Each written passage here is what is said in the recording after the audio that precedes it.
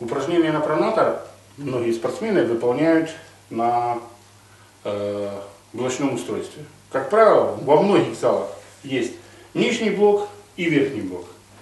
Естественно, э, многие залы оборудованы еще со сменным положением блока, но тем не менее, начнем от того, что пронатор хорошо выполнять на нижнем блоке. Берем это через кисть, устанавливаем себе вес соответствующий и выполняем это упражнение.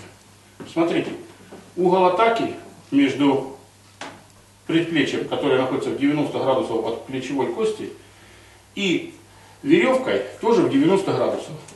Это стартовое положение, и выполняем упражнение таким образом. Стараемся, естественно, тянуть большим пальцем, направляя кисть свою к подбородку.